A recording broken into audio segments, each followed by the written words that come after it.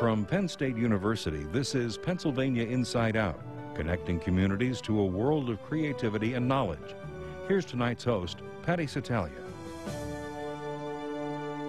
Welcome to Pennsylvania Inside Out. From 1951 until 1974, hundreds of Philadelphia prisoners were used as human guinea pigs in an array of unethical and oftentimes dangerous medical experiments.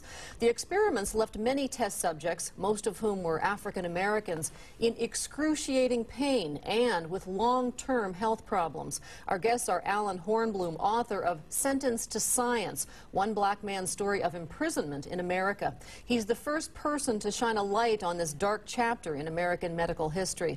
Also with us is Eddie Anthony, now known as Yusef Anthony. His story is the focus of Hornblum's book, which is published by Penn State Press. Thank you both so much for joining us. Good to be with you, Patty. Well, how did you first learn that Holmesburg prison uh, inmates were being used as test subjects? Well, I witnessed it. I was actually just out of graduate school, and I decided in the early 70s that I wanted to do some positive work for society rather than completing my graduate education.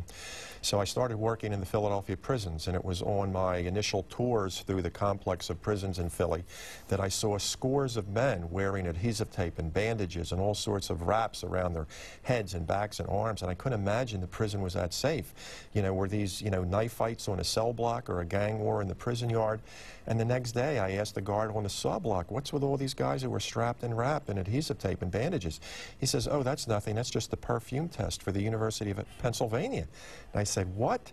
And he said, yeah, they're, they're doing uh, perfume experiments. And it, it was so uh, ridiculous to see these men who were, you know, many cases uh, killers and, and rapists and, and burglars and robbers, you know, testing perfume. I couldn't imagine it. But in fact, what I had learned was that experiments had been going on medical experiments, serious invasive procedures, for 20 years before I ever got there. And not just cosmetics and perfumes. Absolutely. I thought that was in the minority if there was any perfume. They, they were doing uh, just anything you can imagine, from the innocuous to the truly dangerous. Now, was this an anomaly in, in Holmesburg prison, or is this something that's gone on in other prisons across the country? It was widespread in the Cold War years in America. Uh, from the end of the Second World War to the mid-70s, at least half the states had one prison that were hosting prison medical experiments. Pennsylvania, unfortunately, led the way with at least 10 prisons that were doing this.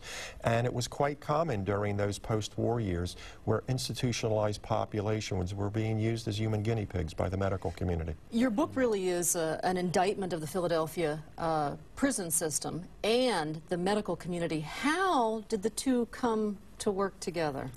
Well, it was obviously a, marriage of convenience. There were folks in the pharmaceutical community and the medical community who wanted to do clinical trials. The University of Pennsylvania is a big research operation, so it was convenient to them and everybody if they could find cheap and available test subjects, and that's what the prison system afforded them. The inmates themselves were desperate to make money, not particularly well educated, so they naturally gravitated to a test where they could make far more money being a guinea pig than they could pushing a broom on a cell block. Was it money that lured you to do your first test? Yes, it was money and um, the fact that I didn't have people coming up to visit me at the time to put money on the books for me so I could go to the commissary at the store. And uh, also they was using it to uh, get bail money if you had low bail. Could possibly get out on bail by participating in the tests, you know. That's, that's uh, basically what lured me, you know what I mean? Tell us about your first test. Um, they signed me to uh, Johnson & Johnson bubble bath test. And uh, I went over there, and uh, if you ever seen the cover of uh, Acres of Skin, they have a guy sitting on the table with patches on his back. Well, they put six patches on my back of bubble bath. But it was a solution they sprayed on my back to seal the pores on my back so that the tape would stick on, so that my back wouldn't sweat, and it was very toxic. That got into my bloodstream, and it poisoned me. And I'm still suffering from that particular uh, test right now today. My hands and stuff broke out, my feet. Uh, my if we had a shot of your fingernails, we yeah, can see yeah. that, that your fingernails right. Uh, are, are, rougher than, than normal and fingernails. they were a half inch and, thick. And this, these look good now. These look good now compared to the way they were when I was incarcerated and through the years.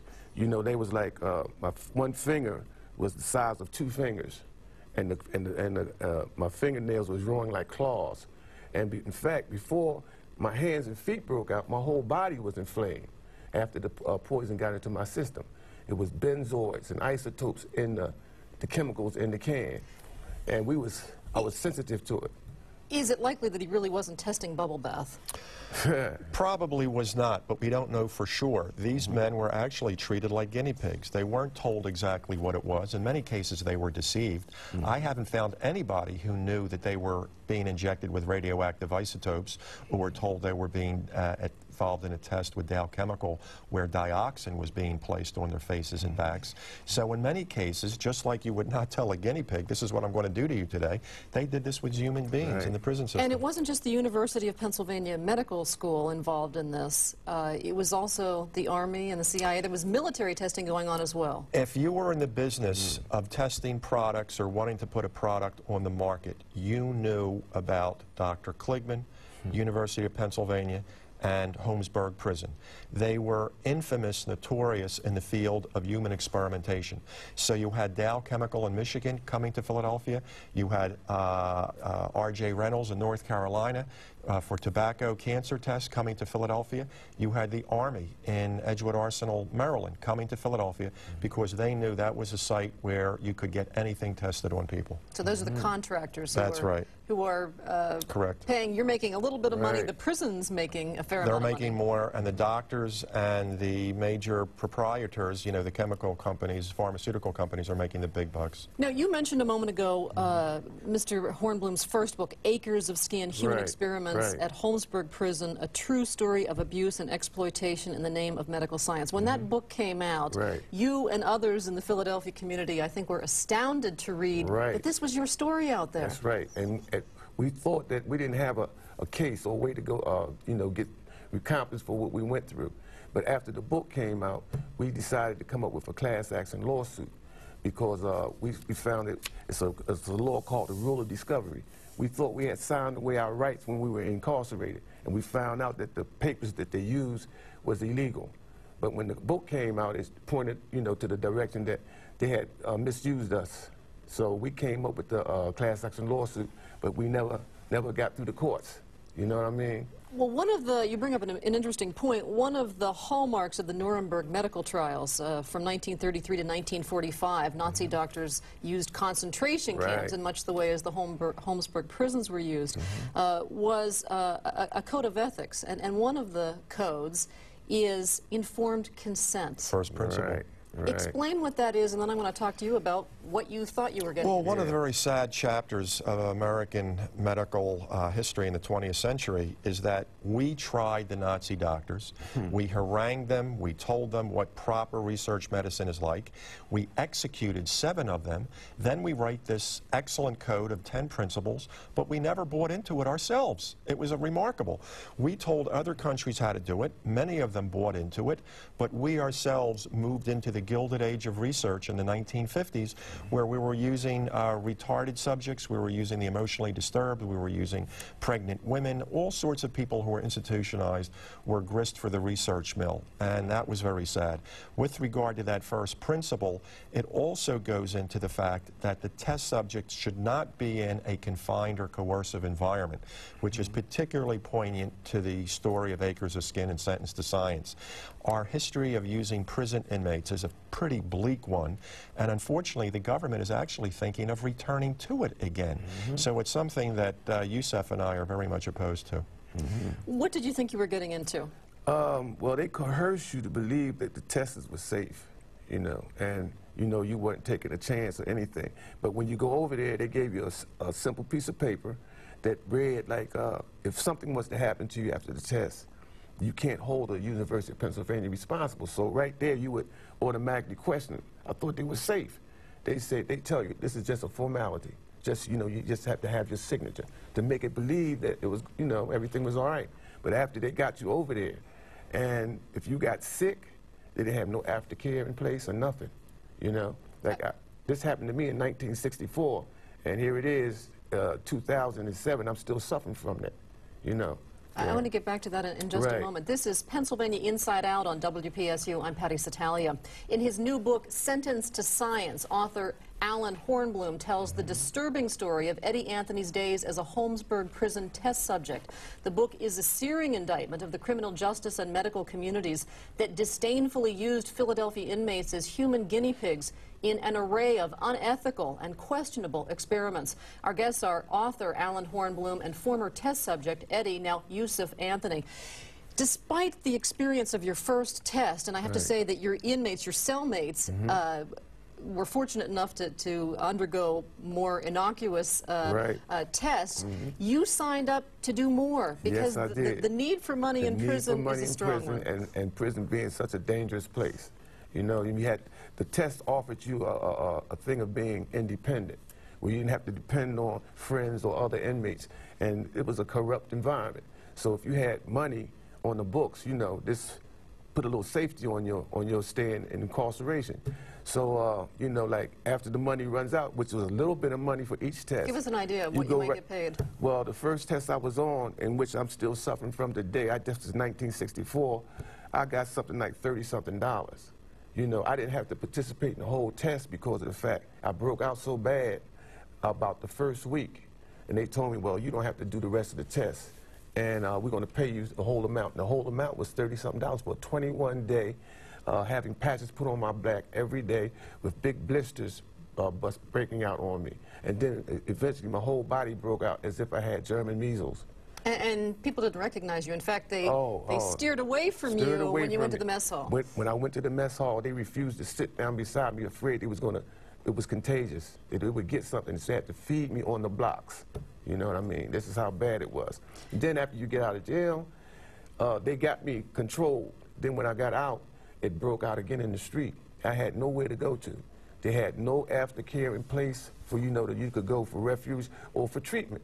So I wound up going to the PGH, and when I did finally What's get the there, PGH? Uh, it was Philadelphia, the Philadelphia General, General Hospital, Hospital. and uh, it's no longer in existence. But my hands and feet, the stuff that was in my whole body, came down to my hands and feet. My hands were big as uh, eight-ounce boxing gloves. I wear a 10 and a half shoe. I couldn't get my foot in a 14 triple E when they took me in there. And they had me hospitalized for a whole month. And I had to be treated twice for this. Uh, uh, here lately, I haven't got no positive diagnosis of what I got wrong with me. It's something in my blood. Uh, I break out every time the weather gets warm. I break out again. You know, they give me a little salve to bring it under control, but it's I never get rid of it. You know, in addition, uh, in addition to the, the physical and emotional trauma of having gone through this, um, the African American community seems to be distrustful of the American medical system in general, not because just this, mm -hmm. but also because of Tuskegee, uh, the syphilis experiments, exactly. uh, and, and, other things. Talk a little bit about that. The African American community is very reluctant to deal with doctors in the medical community. They have very low rates of participation in uh, contributions on, on body parts and, and transplants and visiting doctors and what have you. And it's not just the Tuskegee syphilis study, which is probably the most infamous case of unethical medicine, but all of these other cases that are out there that maybe haven't you know, digested uh, in, in the American uh, Caucasian mind. But in, for, for example, in Philadelphia, unfortunately, there are so many African Americans who have had relatives who went through Holmesburg mm -hmm. for that quarter century.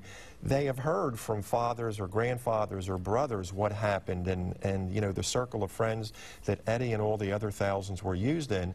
They really become legitimately distrustful of the American medical community. Mm -hmm. Explain, if you would, the experiments were conducted, quote, under the direction of uh, University of Pennsylvania dermatologist Albert Kligman is, is someone you mentioned in your book. What exactly did under the direction of mean? Well, it meant that it was basically his operation. Uh, he walks into Holmesburg Prison back in 1951, ostensibly to help out with another outbreak of ringworm and athlete's foot. But he's a very uh, bright, creative guy.